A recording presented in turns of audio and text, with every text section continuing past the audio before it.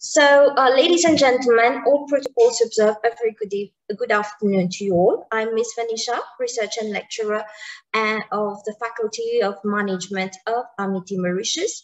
I would like to seize this uh, golden opportunity of thanking Digital for uh, this uh, opportunity in giving me uh, the chance of presenting our research paper and the theme, definite possibility or deliberate mistake, a comparative study of undergraduate students' academic performance in the traditional versus the online pedagogy in Mauritius.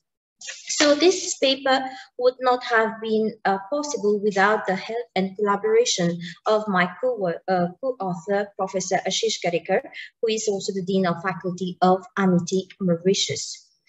The impact of COVID-19 in Mauritius has given um, a new paradigm to e-education with this kind of interactivity based on uh, teaching and learning between students and teachers through the use of the online platform. Uh, we can see that a new arena of hope has really burst and therefore uh, is giving the online pedagogy that we call now the new normal uh, reflecting it as an epitome of effectiveness. But still, uh, there was a mixed feeling whereby people were still uh, having more preference for the traditional mode, saying that it is the best. So in this paper, we're going to go and explore in depth the practicability and realistic nature of the traditional and online uh, pedagogy of undergraduate student academic performance in a designated university, a private one. Unfortunately, due to confidentiality of uh, the paper, I cannot disclose the uh, institution. And uh, here we're going to have a, a more in-depth analysis of the transition from online to uh, from traditional to online in the era in the time of March 2020 when COVID shook uh, Mauritius.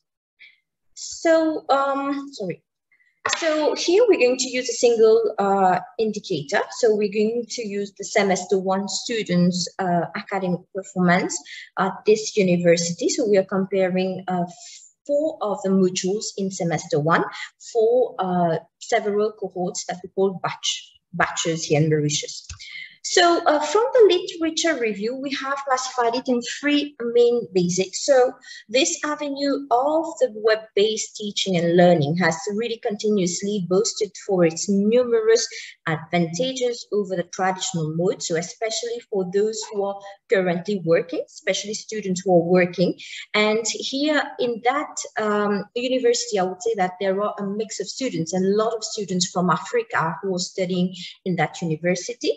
And uh, so they are currently uh, working or doing studies on a slow pace basis. So this is really giving um, more of an, uh, an advantage to those students and uh, also to students who can uh, at leisure have uh, their, their studies being done uh, with only a single connection. So they can connect through the platform like Moodle, uh, Facebook, WhatsApp, or even Zoom, or now uh, this university, they're using the MST.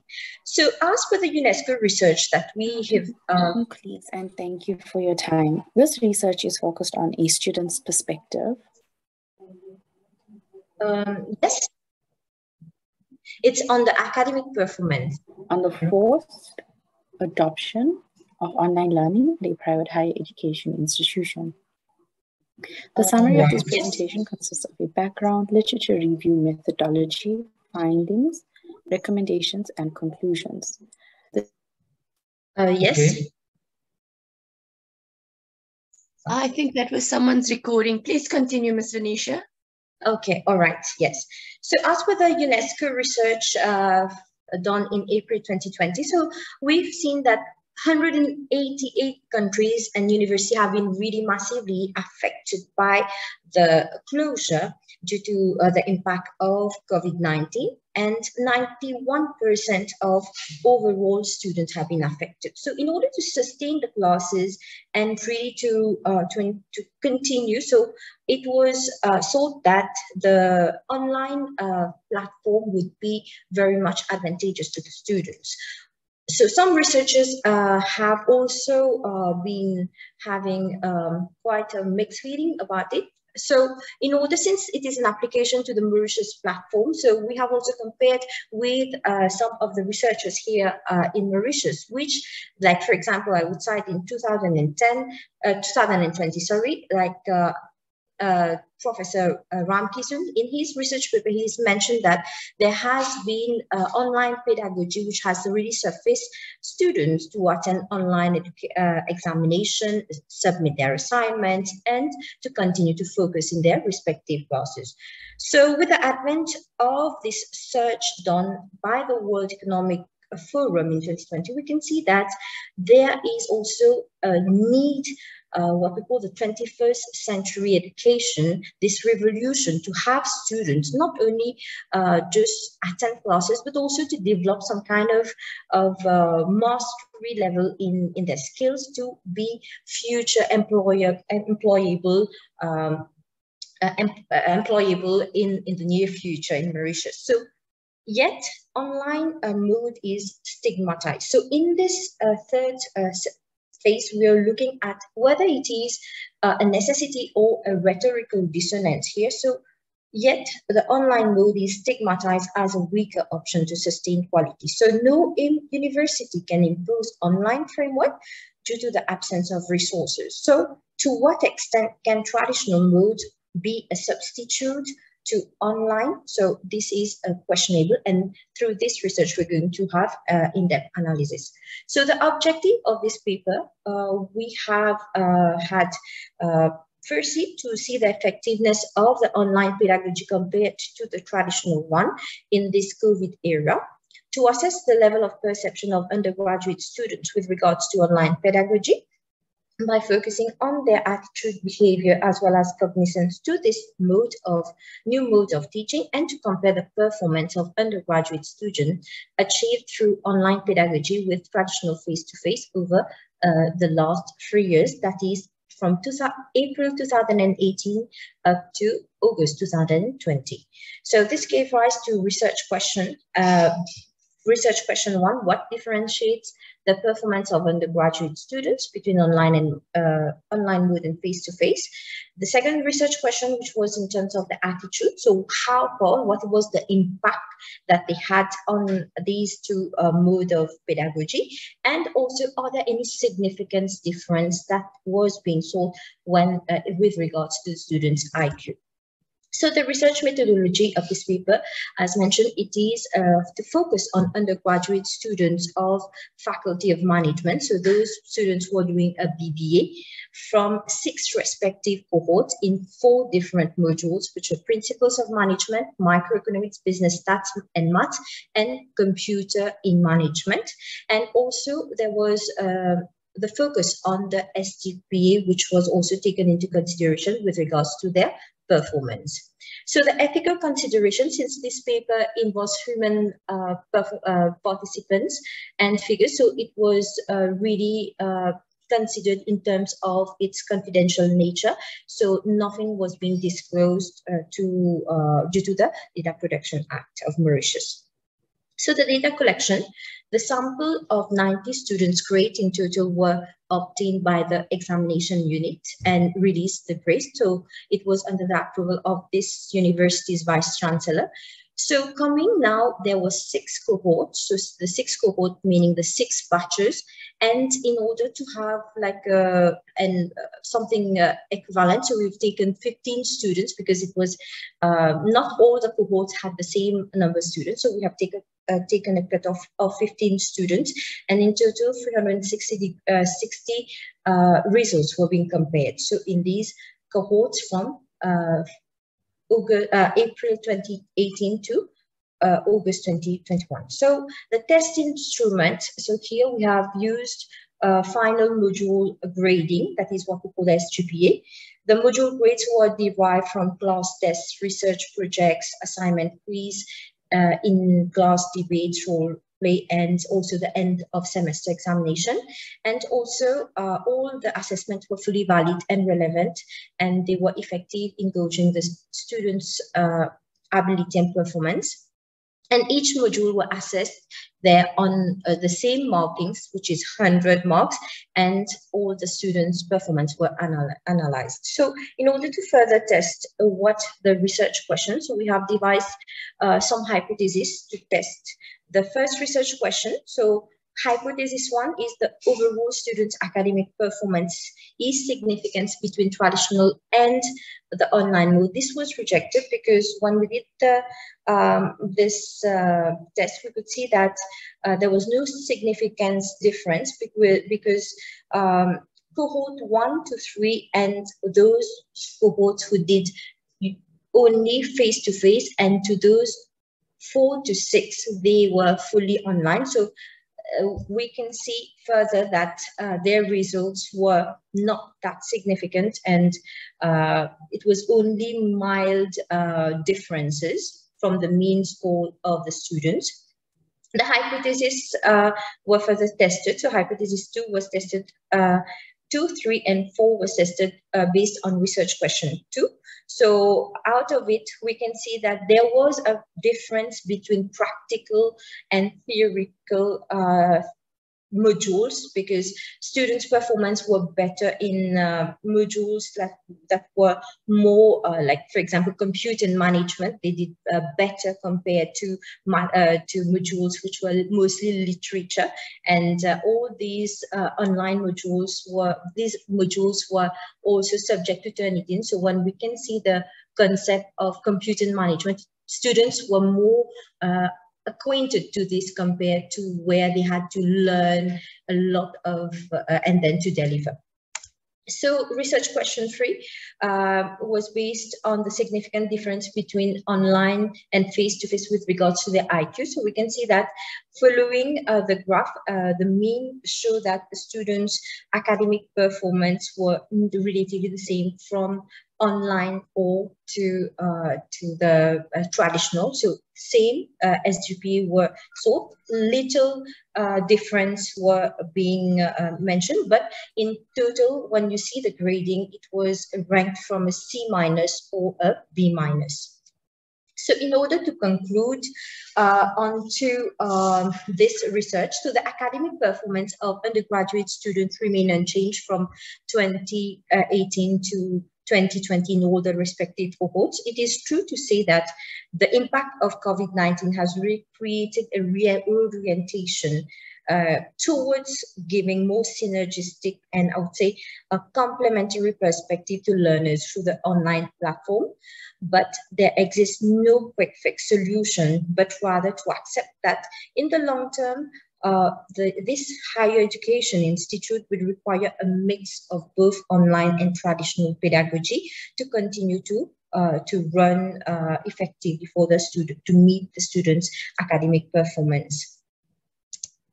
So some of the recommendations, so future recommendations should be uh, considered in the teaching ways of both online and traditional classes. So the quality should also be an important factor to be considered and to continue having a blended, uh, a hybrid pedagogy instead of just shifting to online uh, because after the pandemic, uh, there, there is a possibility everything will go back to normal, even though the new normal is online, to put in place a quality assurance monitoring system which will cater for effective teaching and learning to sustain engagement and to have proper KPIs of academicians on how to improve their online teaching learning, which would contribute to having students' performance better, and to continue to do survey to evaluate the possibilities of students' accessibility to resources like Moodle, social media, and uh, MS Team, where lectures are usually being conducted.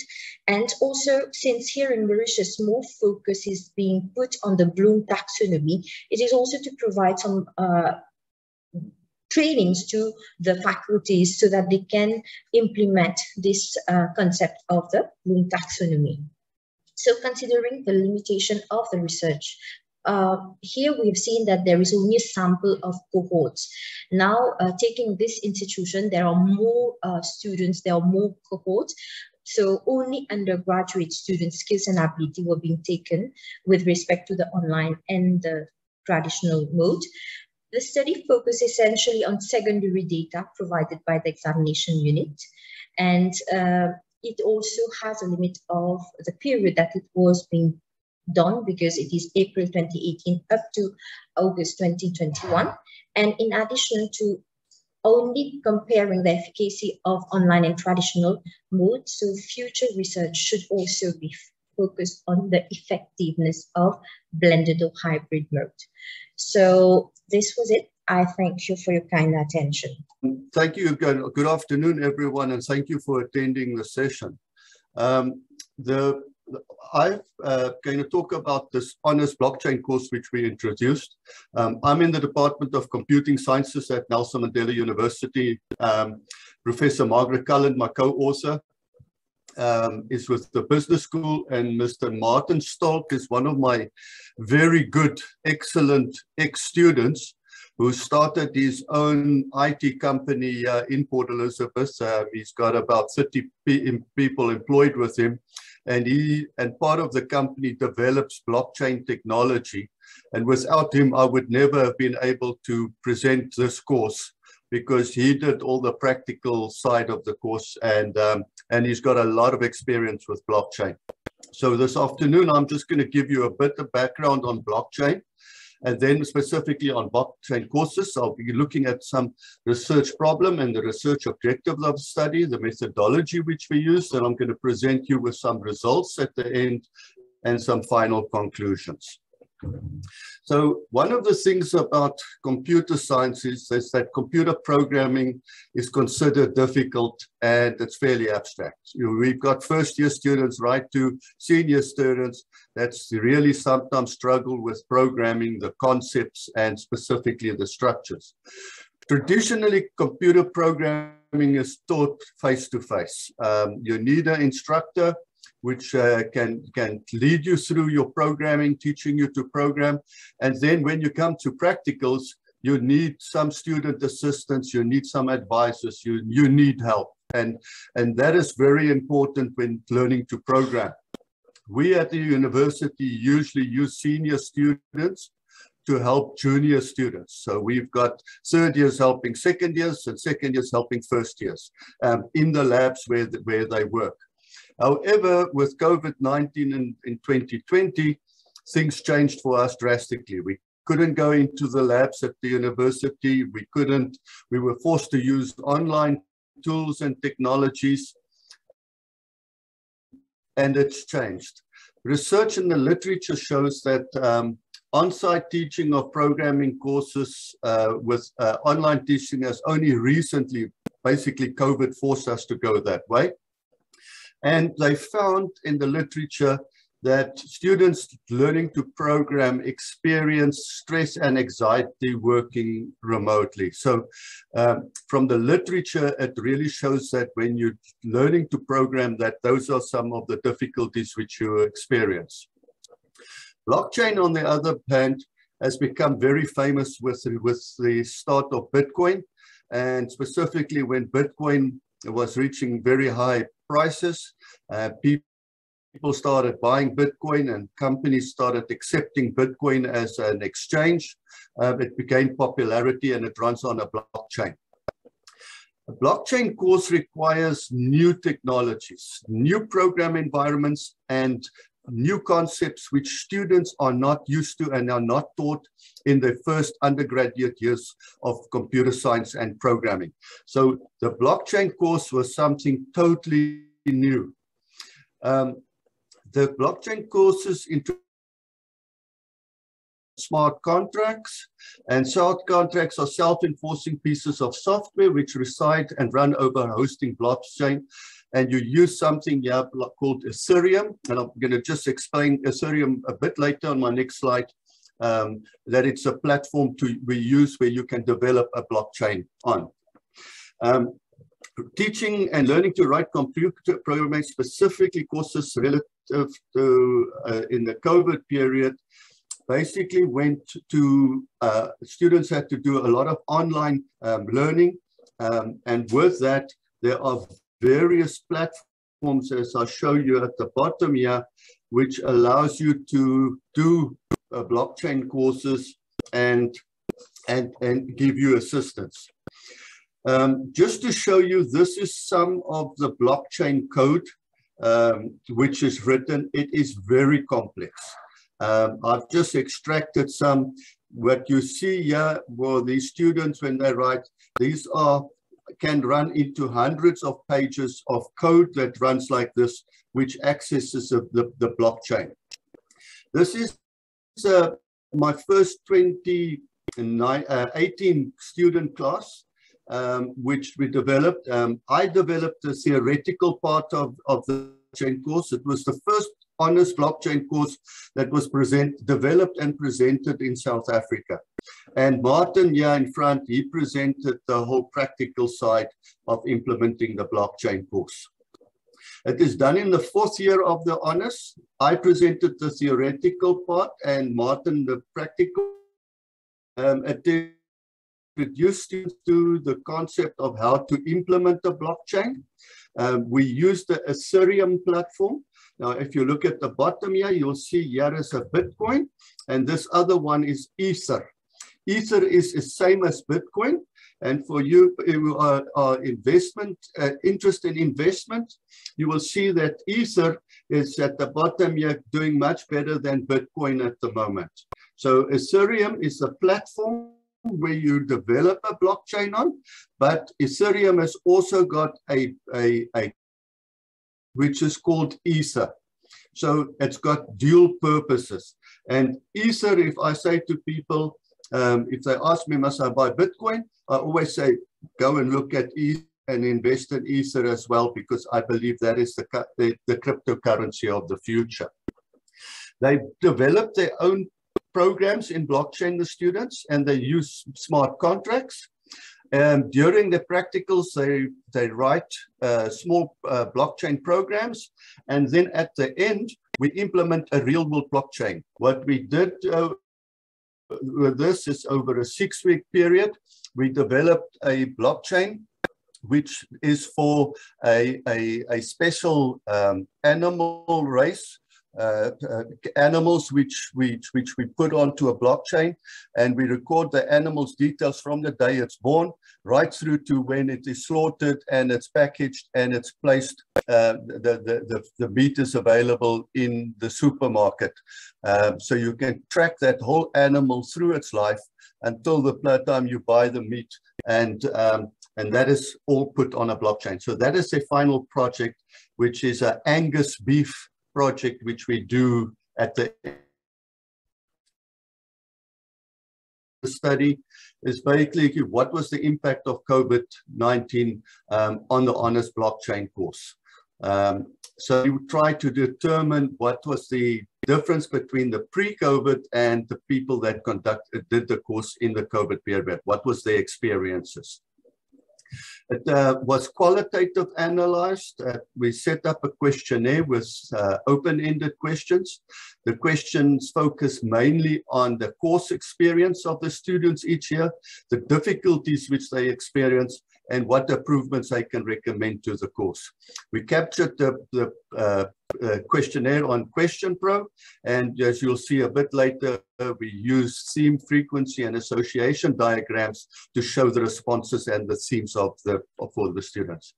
This is a study done by Professor Cullen last year relating to MBA students going online and the difficulties they experienced in South Africa. And the most important things which the previous uh, showed that the MBA students were very high data cost and connectivity programs in South Africa, specifically during load shedding um, times, which was a problem. Um, specifically for the MBA and having family and kids around uh, was was some of them said that 10 students said that the home environment and having family kids has uh, provided a lot of difficulty. And then a lot of them struggled with the technology and some also had emotional stress. So this is what the mba students did. So let's look at our results. In the data of my um, uh, blockchain course for three years um, unfortunately, my year 20 three students in the class. So it was 12 students, eight students, and three students. This is the total population of the class. So um, I couldn't, it was not a sample. This is the population uh, which we had. We see some of them were living with their parents, uh, but during the COVID time, everybody was at home uh, working, living with their parents and working from home. So uh, a question which we which we analyzed. How did you find studying the blockchain course? So if you if you look at the students here, um, generally everybody said the course is very technical, which it is. It is a very very technical college. It's all new. It is extremely challenging. Um, they all use new technologies and it's very time consuming. Um, a lot of the students found the course very difficult and frustrating. Um, the practical components were very long, and um, but it was cutting edge. It was leading edge, and the students that completed this course work um, in the blockchain environment fairly easy after they uh, after they finished the course. The difficult experience in the pre-COVID period, which the course the students mentioned, were the long lectures uh, specifically the practical lectures, the, they were fairly long. They found the tech very difficult, uh, specifically having access to software. You had to run, run the Ethereum platform at home. Uh, so that is that could that was a problem. Um, and having your technology at home, that's what they found. The students in 2020 really wanted face-to-face -face interaction. Um, they found that the access and academic expertise in the online environment is not the same as in the uh, real world face-to-face -face environment. You can't pop in to the lecturer's office and ask him or her, what is happening here? Why is my program not running? I'm struggling. What am I doing wrong? So that is, that is a big, big uh, drawback for them. They also don't have access to peers' expertise. The honor students can go to the master students and they can go and they can um, ask them to, for assistance, which is something which, which really helps in, in, in, in this environment. They had to use blockchain forums. They had to go onto the internet. They had to use YouTube to go and, and, and solve problems. And that made them feel very stressful and very emotional challenging. So, so the 2018 pre-COVID group, they wanted improvements with shorter lectures, access for software at home, longer practice practicals with more um, assistance, and they wanted more forced lab sessions where people sit in the labs and they have to do the, their blockchain development there. The 2020 group said they want mask to mask interaction. They want access to the academic expertise. They want access to peer, peer expertise. And um, they made extensively use of, of blockchain um, forums, help on the internet and things like that. And they were very much on their own. So the difference from a lecturer side between the two groups group was very more theoretical. Um, the post, uh, the COVID group had a much more practical experience. They had a, basically a much more real world experience. Um, something which you work, when you go to work in the industry, you have to solve problems yourself. You have to go and, and um, and, and research things. So they had a, a, a limited resources with very little help. And, um, and, and they, that, that made them struggle, but it also taught them some other skills which were more practical and more research orientated exposure. The 2020 group had to solve block blockchain code related problem solving, programming forums, internet sites. They used YouTube videos, blockchain blogs, and that's what they, they did. They all asked for face-to-face -face assistance. That's one thing that they said they would like to have had be back in the lab and everybody would like to have a lecture, uh, be in lectures and work in that, in, in that regard. Um, they also found every all the students found the course technical, challenging, and time consuming. And then additionally, COVID-20 class found the course um, access to peers assistance, experience high costs, and they mentioned stress and emotional challenges. Just like other studies have found that teaching to program is, is causes stress and emotional and uh, and that's something which we have to take cognizance of in the future and how we're going to support our students. Thank you, my president. Thank you very much. Everybody. Hi, my name is Tania Prinsloo, and I was very fortunate to work with Pariksha Singh on this paper. And what's interesting about our paper is that the changes that we implemented we actually implemented before COVID. So everything that's been done here is not at all related to anything that happened after COVID. Uh, I just want to see how I get to my next slide. Oh, it seems to have frozen. Um, there I go. Okay, so as an introduction, um, what we as an institution would like to achieve is to have more lifelong learning skills being transferred. And we've seen that it's widely recognized as being very beneficial and useful. So we don't want to teach students something that they just study for the exam. We want to teach them a skill that they can take with them forever. And we found that the Sage Pastel model module is very conducive for that because it not only um, follows principles such as learning for understanding, but also applying knowledge to solve problems. Now, we do understand that not all modules can go the lifelong learning route, but we would like to encourage the, the modules that can to do that. And what we've seen is um, we see that it's a better way of teaching accounting students because instead of just having the top-down approach where students study for the exam and then forget everything, they now have to incorporate it into the accounting module and they also now have to be able to apply it when they leave the university. So we really want to equip them with something that they can use for the rest of their life. Now, just as an example, one of the earliest lifelong learning skills that you learn is to read and to write. And that's probably the biggest skill you'll ever learn.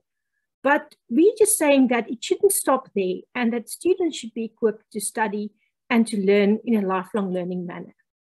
So what we decided to do with the planning going into 2020 we said that we want to change the curriculum and we want to include Sage Pastel as an integral part of the accounting module. Now, why we wanted to do that is because the accounting module said that they no longer want to do paper-based assignments. They want the students to do their assignments in Sage Pastel.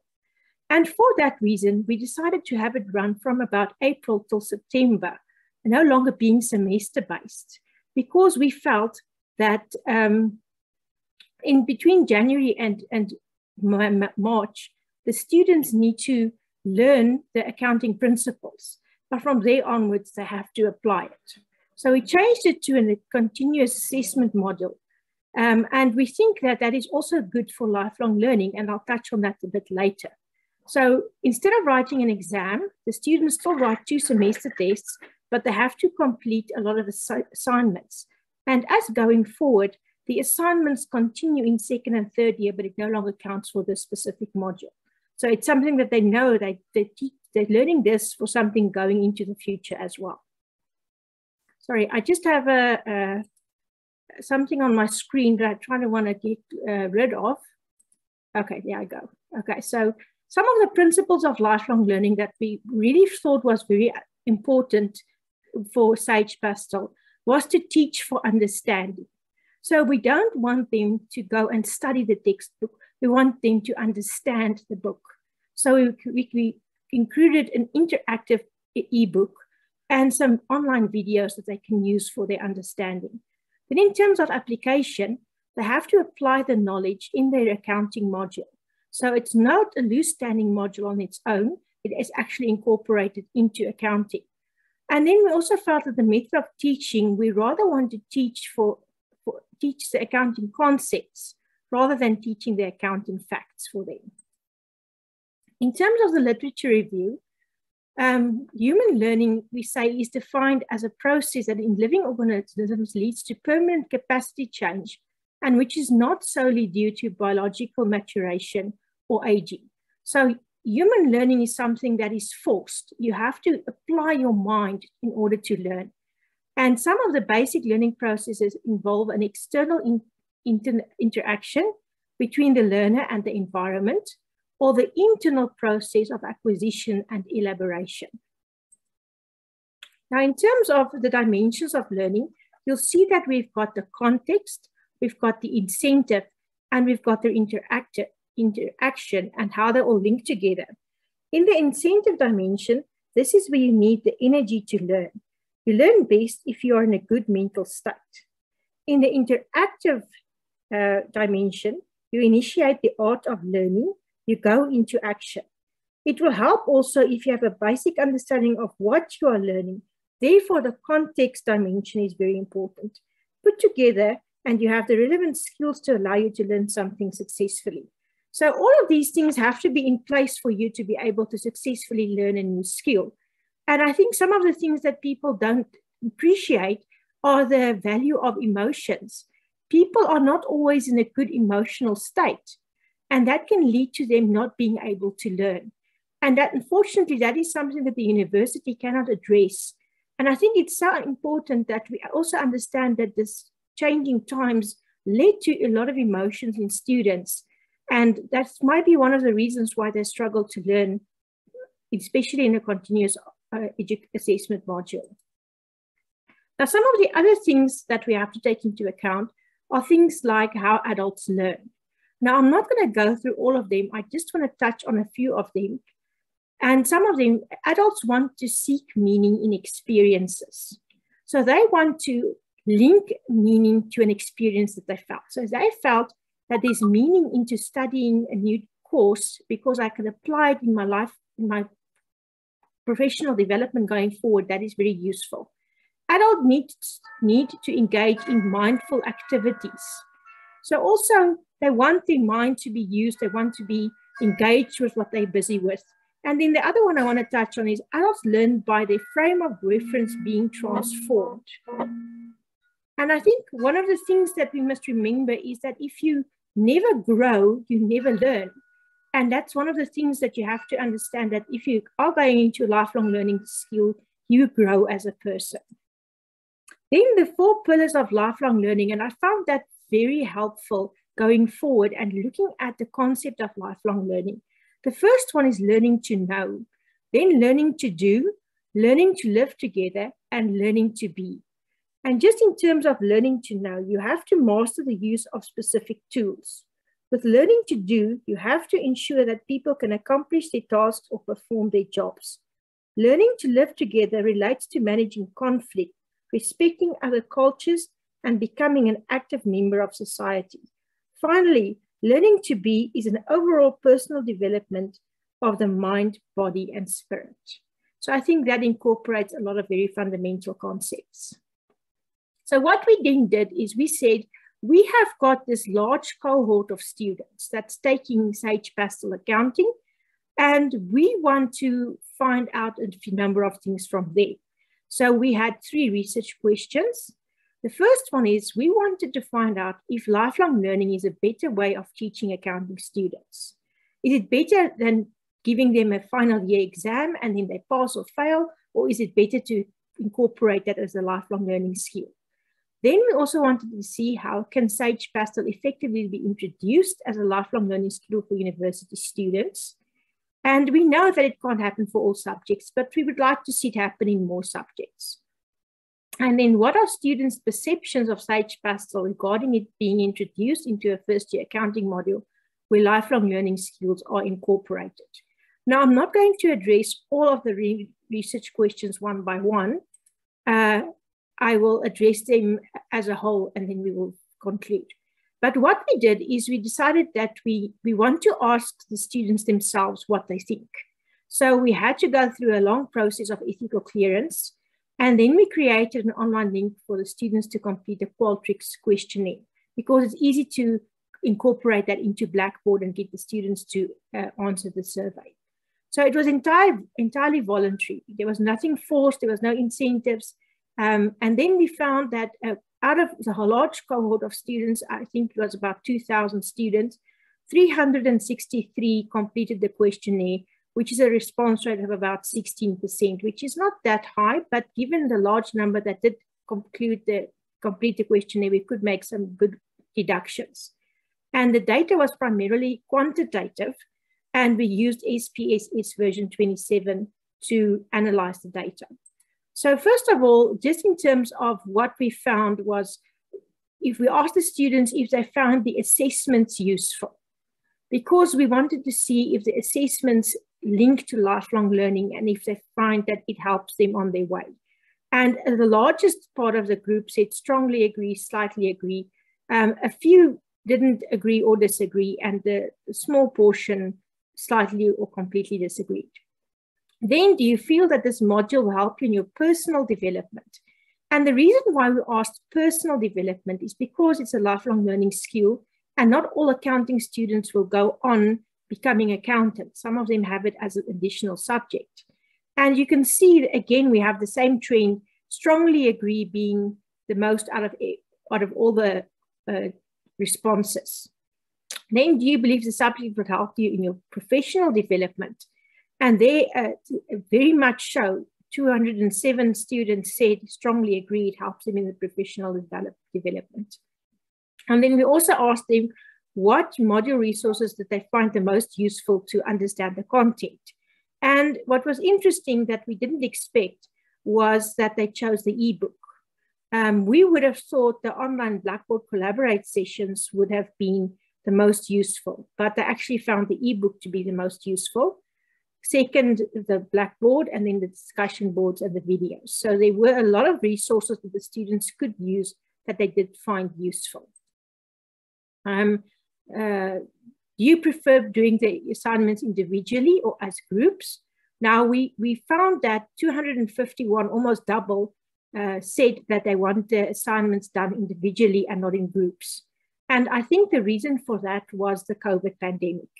Students found it difficult to form groups because they didn't know each other. They found it difficult to get together in groups or to meet online and find a time where everyone could meet. And a lot of the students actually just felt if I do it by myself, it's easier, it's quicker. We actually would like to encourage group work because we feel that is more beneficial to them. So just in terms of the students, we had a word cloud in, in Atlas.ti. These people that said they prefer um, working from home said uh, for understanding, um, they find it difficult to meet in groups. It's difficult to meet online. They prefer being alone, that they can manage their own pace um, they can manage their own marks and so on. Whereas the people that said they would like to work in groups found it easier. Um, they have members of a team um, that work together, um, helps things along. So a lot of them felt, but it was quite difficult to understand because they probably, a lot of them compared group work to individual work, which came out in the word cloud. And then just one of the cross tabulations that we did, uh, we students believe this course will help them in their personal development versus individual and group assessments. And we found that the individual students felt strongly that it helped with their personal development. Um, and we, we have a lower percentage of groups because the group numbers, people who chose the group option was a lot less. But strongly agree, slightly agree, and neither agree or disagree was the three main options that we found.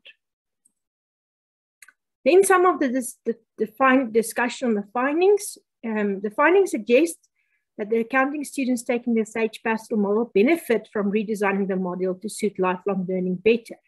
We found that their overall marks improved. We found that uh, they better they easily uh, incorporate Pastel now into the accounting module, so we do think it's beneficial. And then the reason why the continuous assessment approach we feel works very well is for, and why it links so well with lifelong learning, is we have a better standard of learning. Um, the basic premise is that students learn continuously rather than trying to memorize everything for the upcoming exam, which helps with lifelong learning. A higher quality of quality of demonstration, learners demonstrate their knowledge throughout the module. highlighting problem areas. Students are able to identify problem areas such much sooner and address it during the module, build on existing knowledge that they already built throughout the semester, and in higher levels of retention. Students often apply what they've learned and their skills are displayed more frequently.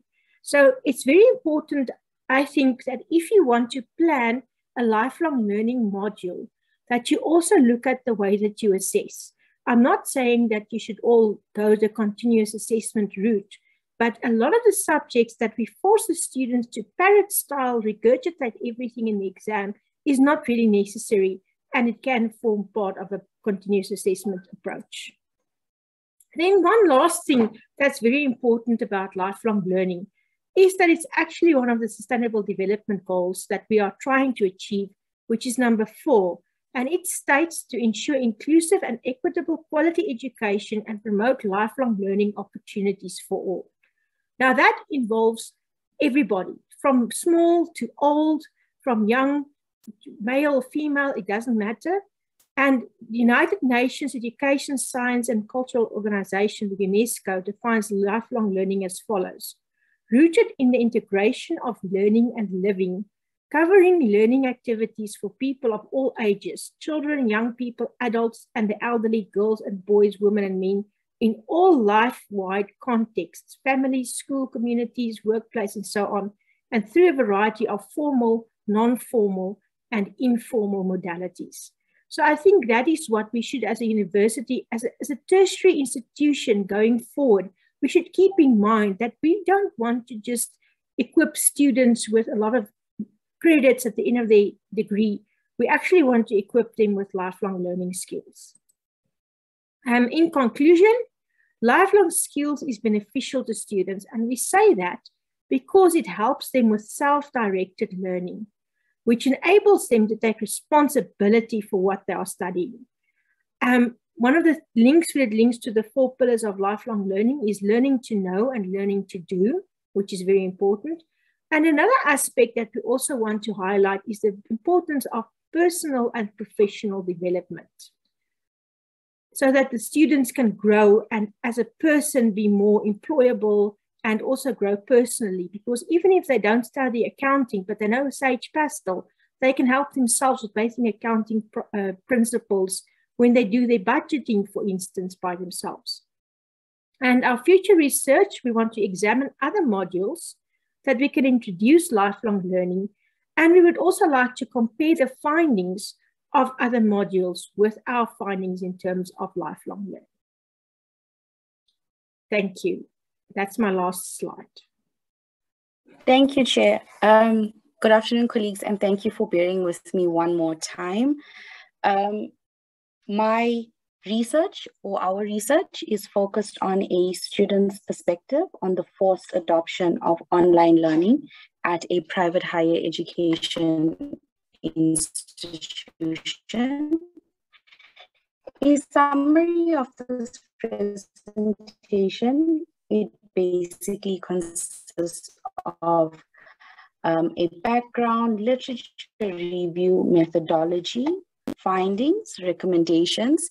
The research objectives of the study was to identify higher education's students' perceptions of online learning during COVID-19 when the South African government instituted a nationwide lockdown, requiring teaching and learning to go online, as well as to determine what could have been done better to assist higher education students with their online learning during COVID-19.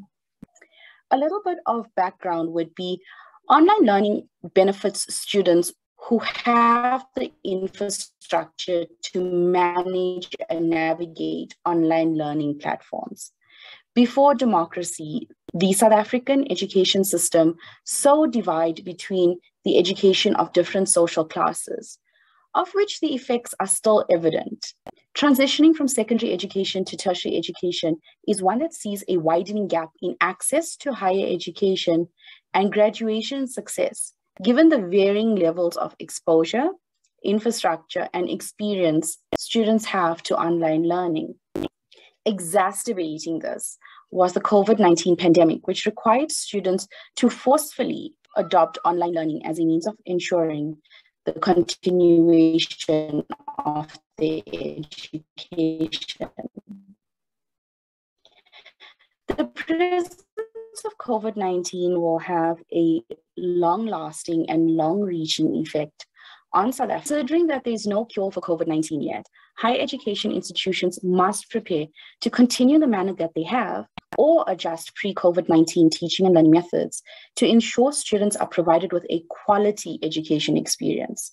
Given the need to salvage the academic year and retain students, higher education institutions are favoring the online method of teaching and learning, given the increased uncertainty of when normalcy will return, and students can safely resume face to face learning at full capacity. Therefore, the purpose of the study is to explore an area pertaining to students' perceptions of online learning that is under researched within the Southern African context. Given the contemporary extenuating circumstances, many higher education into COVID 19. Given the diversity and multicultural nature of the South African higher education student, the education system too must be robust and amenable to developments, given that there's an increased focus on creating graduates that are also global citizens. Therefore, in view of the changing student demographic, increased competition, and concerns regarding quality, higher education institutions must shift their teaching and learning approach to be more technologically focused in order to address these challenges.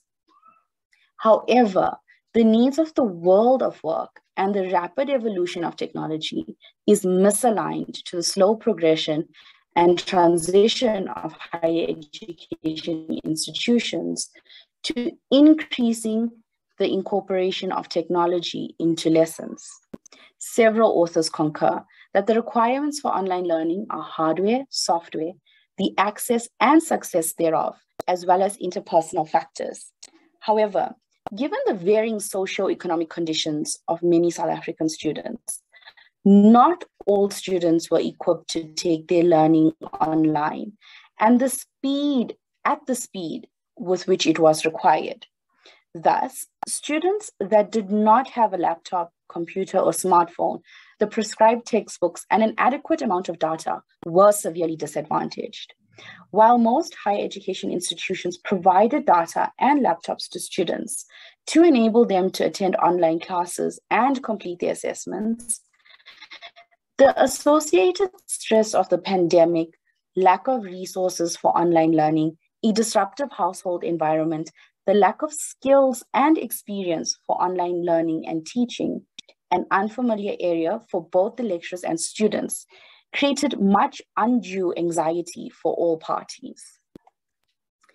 There are circumstances where, despite the availability of information, there are events that occur which cannot be comprehensively considered and predicted. These events are known as a black swan.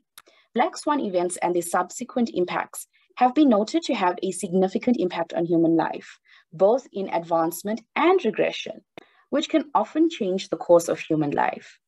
The black swan theory serves as a critical theory that underpins the understanding of how COVID 19 could potentially aid or hinder nations.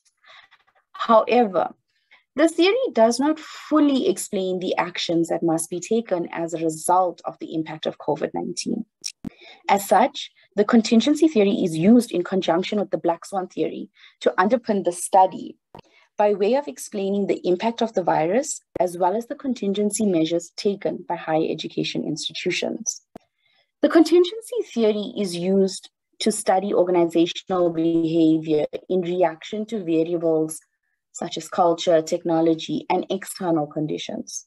When South African higher education institutions implement contingencies, these contingencies must be well thought out and fully understood by lecturers, support staff, IT support, as well as students to ensure that during implementation, it is in fact doable and well received. The approach taken by higher education institutions to adjust to the impact of no face to face classes was to implement online learning as a contingency. However, not all higher education institutions had the resources, capacities, and ability to migrate learning onto the online platform quickly and seamlessly.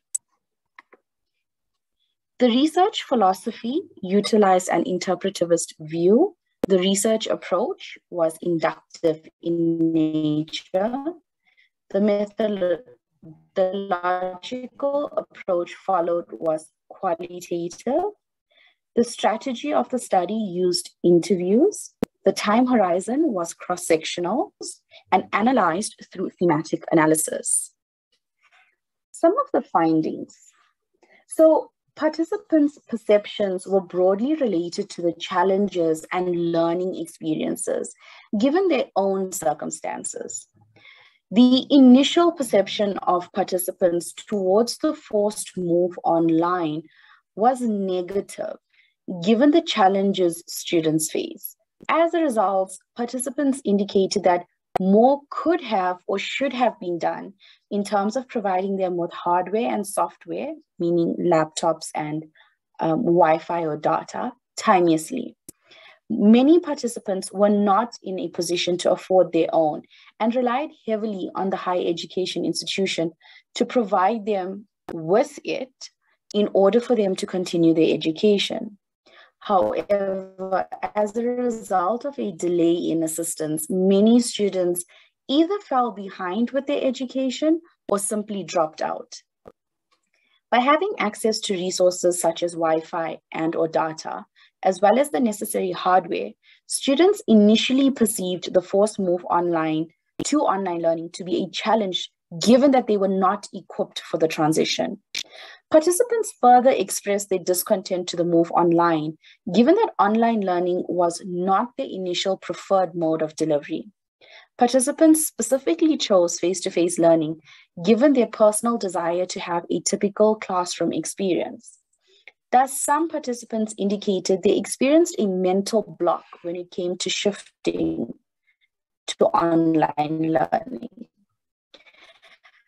There was also an emotional response to the move online, where the uncertainty around COVID 19 resulted in an increased sense of anxiety towards successfully completing their education and then subsequently going back to campus and what that exposure could result in when they return to their families. However, as online learning progressed, students' perceptions started to shift, where there was now a greater sense of ownership of learning.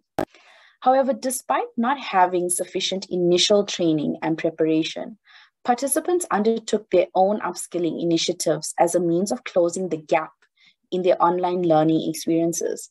Much of the onus was on students to take ownership of their learning experience, and participants indicated the positive outcome was a more computer literate and technologically proficient student.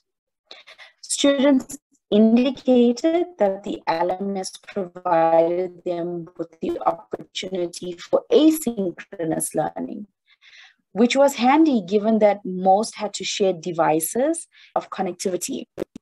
As students learned more about COVID 19, they became increasingly aware of the risk it poses to themselves and those around them. Therefore, the perception of online learning was now a more favorable opinion given the personal perception of students towards managing the effects of the virus. Overall, students' perception to the forced adoption remained divided. While some students expressed initial hesitancy, they soon grew to a level of comfort and competence with their ability to navigate online learning platforms, and thus they experienced a desire to continue online learning. However, there too was a significant number of participants that preferred to go back to campus, given that it puts them in the right frame of mind to learn, given that the learning environment at home was not conducive enough to them. Some of the recommendations that can be put forward are higher education institutions can investigate the possibility of providing all students with a monthly data bundle to aid with online learning. This can be achieved by actively working with telecommunication networks to form partnerships and have them consider zero rating academic websites. Also, allowing students a platform to buddy up with existing students as a means of mentorship and guidance, specifically with, and lastly, providing training and workshops students that promote online etiquette or netiquette and also practical classes to promote the integration of a learning management system into the learning environment. Yes, please. Um, the ongoing presence of the COVID-19 health pandemic has continuously forced higher education institutions to rethink their approach to online learning, as well as the support provided to students. At a time where emotions, tensions, and uncertainty around health and safety are at their peak, students at South African higher education institutions are facing an increased number of complexities, most of which can serve as a hindrance to their academic studies. Thus, the purpose of the study, while identifying students' perceptions on the forced adoption of online learning that is unique to the prevalence of the Black Swan COVID 19, is to also identify measures that can assist higher education institutions in determining better support measures, thus enabling the development and employment of targeted interventions and support. Thank you, colleagues, and apologies once again for the disruption. Thank you. So, um, two studies carried out in online foreign language education courses in the 2020 and 21 academic year show that students especially valued hands-on collaborative tasks, engaging collaboratively in critical thinking and multimodal meaning-making processes, as well as receiving consistent feedback. Collaborative and active learning, along with flexibility and a pedagogy of care, have thus emerged as key dimensions of effective online learning in, a, in the new normal. As a result, to cater to students' needs in the new normal, a HyFlex, that is a hybrid flexible course outline, has been developed for foreign language teacher training or other disciplinary courses also taught through the medium of an additional language.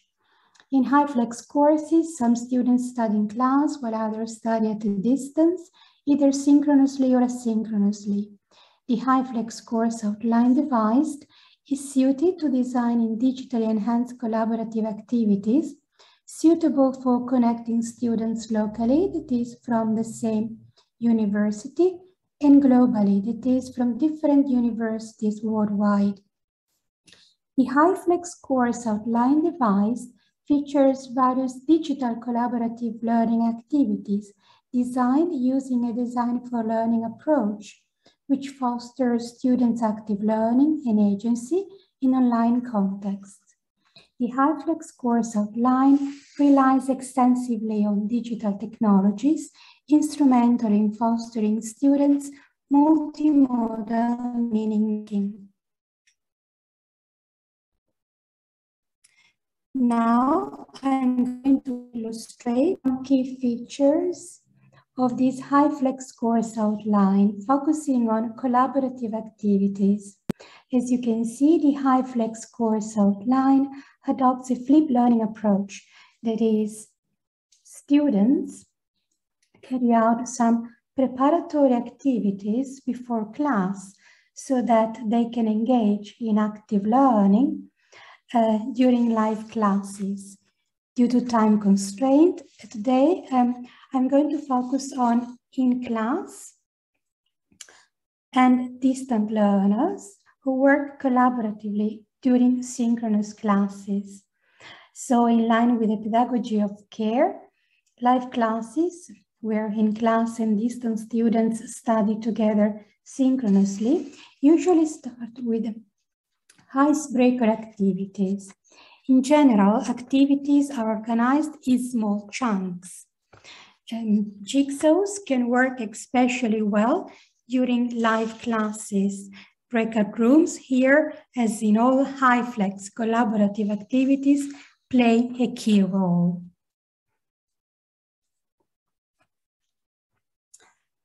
Visualization can be especially useful to foster text comprehension by making underpinning semantic relationships surface. In this perspective, Moretti elaborates the concept of distant reading aimed at synthesizing the main features of a large amount of aggregated text data through the visualization of recurrent patterns. Distant reading entails identifying the main textual patterns and representing them through various kinds of visualization, from networks to charts, instrumental in making latent semantic relationships emerge. Although distant reading leads to a loss of semantic content in terms of granularity, when compared to close reading, distant reading contributes to the surfacing of meaningful patterns underpinning text, including academic text. Moretti's distant reading can be operationalized through text mining, that is computational text analysis, which transforms unstructured rich text data into structured and usable knowledge. Text mining is useful to detect patterns of text and thus uncover hidden semantic relationships. From an open pedagogy perspective, disciplinary text can thus be investigated through text mining. As a result, visualization-based topic analysis can be implemented, fostering students' engagement in active knowledge making. Text mining enables students to carry out digital activities um, which could not be actually realized otherwise. Um, so text mining, in fact, enables end users to experiment with text analysis while engaging in critical thinking. Text mining driven activities trigger students' higher order thinking skills since through digital text analytics, students can deconstruct the text and, as a result, understand it more thoroughly by investigating its patterns in a non-linear way. In general, students can analyze text using text mining before class. Students can thus engage in processes such as deconstructing academic text retrieving and organizing patterns of information on their own, and then share their findings in class through collaborative tasks such as jigsaws. In this respect, students can use Voyant to carry out text mining driven activities. With Voyant, students can also analyze genre-based features of academic texts. Students uh, can also use To engage in topic modeling. Likewise, uh, students can use FLAIR to analyze syntactical and grammatical features of academic texts. Um, after each class, so at the end of each live class in HyFlex courses, students carry out a reflection activity, which is pivotal to foster metacognition in online learning. Students can fill in a questionnaire, they can draw, they can post an image. Inclusion is thus fostered. As mentioned, students carry out some preparatory activities before class. During live classes, they can thus engage in collaborative activities such as think, pair, share. That is, students think first individually how to address the problem or the scenario provided by the instructor. Then they discuss in pairs the issue provided. And finally, they share their findings or solutions with the class orally or through multimodal artifacts. Before class, um, students can annotate an article or a video collaboratively using Perusall, which students really enjoy. Then during live classes, um, students can engage in peer instruction. Peer instruction, which is highly structured, features seven steps, including answering multiple choice questions and collaborative learning.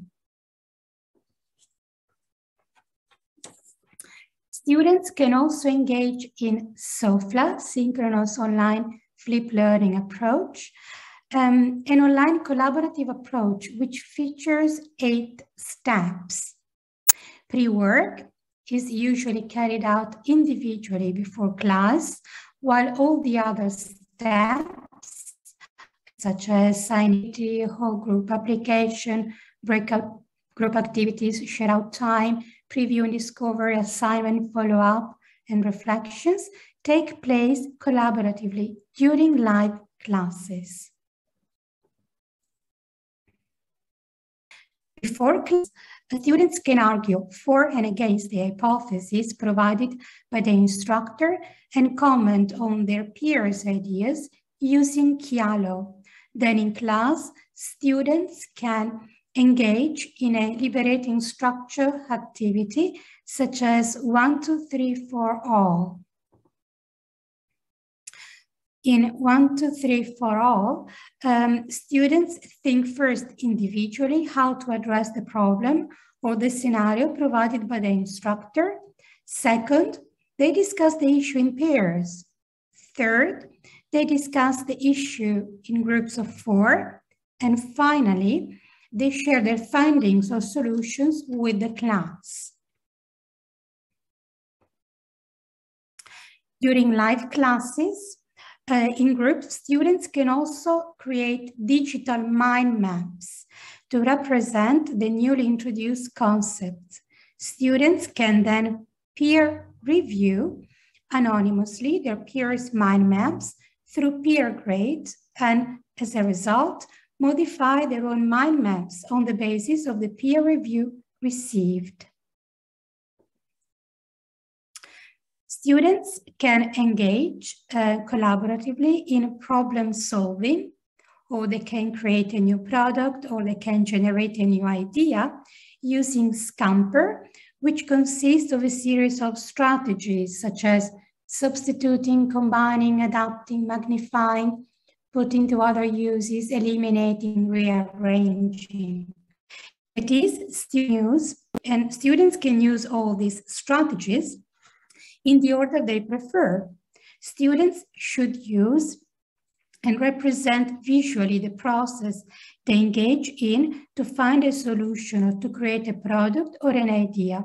As a result, the process emerges as an added value of collaborative learning. In conclusion, to foster effective collaborative learning in HyFlex courses, various strategies and activities can be used while at the same time catering for students' emotional and flexibility needs. Thank you.